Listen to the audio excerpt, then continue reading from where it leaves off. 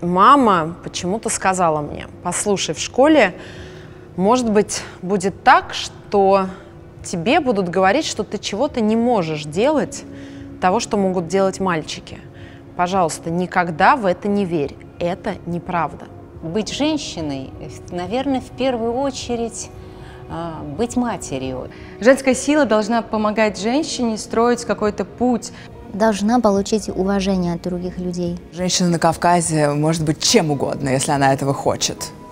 Не обязательно быть слабым, не обязательно быть сильным. И когда ты понимаешь, что твой мир взрывается, когда в нем появляется этот маленький человечек, ты понимаешь, что быть женщиной – это просто потрясающе.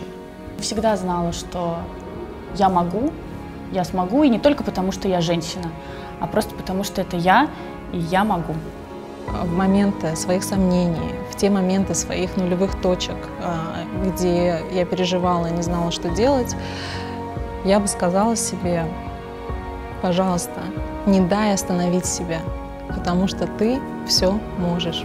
Женщина может не иметь там невозможно огромного состояния или там суперобразования, но при этом менять судьбы людей только за счет того, какая она добрая, прекрасная, понимающая и мудрая. Мы женщины, и мы можем. У нас все получится. Вместе, поддерживая друг друга, всегда заступаясь друг за друга, всегда поддерживая сильных, независимых и целеустремленных. Я женщина, и я могу.